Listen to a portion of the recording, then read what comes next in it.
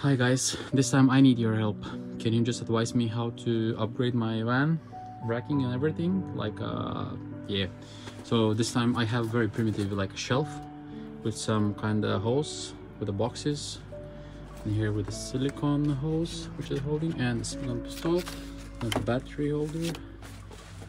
And that's pretty. And then other shelf there but i want to make something else like a or at least keep this part and just upgrade it on that part or just connect it somehow whatever. Yeah i have these uh, holders here as well. Um by a long uh, level here. Uh, some tape here. Some screws here. My belt hanging here. Extra tape there. Extra tape there. Yeah I would like to have some basic tools like a blower, which is I'm using a lot, laser, uh, this foam pistol, just have it somewhere. Can you just advise